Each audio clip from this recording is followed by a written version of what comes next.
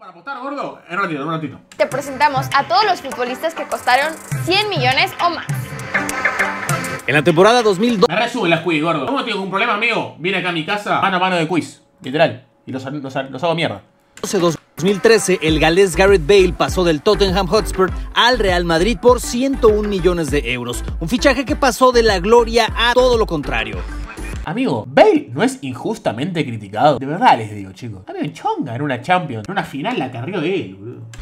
En la temporada 2016-2017, el Manchester United compró de regreso a uno de sus jugadores de fuerzas básicas, Paul Pogba, por el que pagó 105 millones de euros a la Juventus que lo había convertido en estrella. No, el Pogba de la Juve era impresionante, amigo. Hasta el momento no ha sido para nada lo que se esperaba. En la temporada 2019-2020, el Real Madrid le pagó 115 millones de euros al Chelsea por Eden Hazard, que confía en volver a brillar ahora de blanco. Re caro, Hazard.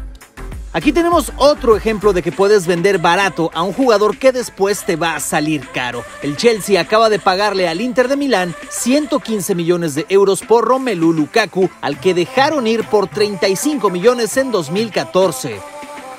En la temporada 2018-2019, el Real Madrid vendió a Cristiano Ronaldo a la Juventus por 117 millones de euros. ¿Lo valía? El Real Y venía la Champions. Madrid vendió a Cristiano Ronaldo a la Juventus por 117 millones de euros. La Juve invirtió esa cantidad buscando alcanzar la Champions, que hasta el momento no lo ha conseguido. Otro fichaje de esta temporada que se unió a la lista es el del inglés Jack Grealish, que dejó a su amado Aston Villa por el Manchester City, que pagó 117.5 millones por el atacante. En un polémico fichaje, el Barcelona pagó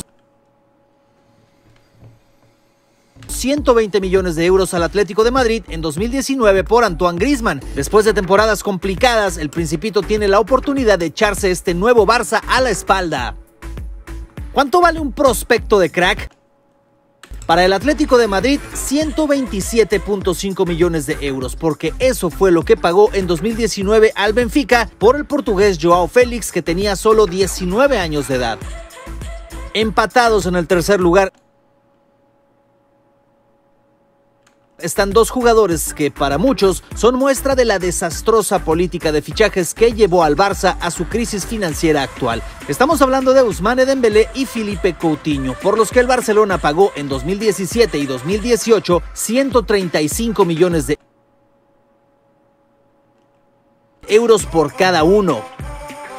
En julio de 2018, el Paris Saint-Germain pagó 145 millones de euros por la joya del Mónaco, Kylian Mbappé. El francés pintaba para estrella, hoy lo es, por eso equipos como Liverpool y Real Madrid lo siguen muy de cerca. Difícilmente se superará en los próximos años, sobre todo debido a la pandemia, un traspaso como el de Neymar del Barcelona al Paris Saint-Germain que movió 222 millones de euros por su fichaje en la temporada 2017-2018, el más caro de todos los tiempos. ¿Crees que esta te- Igual me van a decir termo, me van a decir termo, pero para mí Neymar los vale. Para mí Neymar vale 220 millones. temporada veamos otro traspaso que supere los 100 millones de euros? Te leemos aquí en los comentarios. ¿Qué decís, imbécil? No digo nada, imbécil. Lo que te digo es que para mí ¿Quieres- los vale, boludo. Recuerda,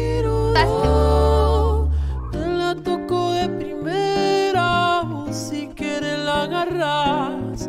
Cada jugada que sueño se hace realidad, o pareciera algo casual. Aunque ponga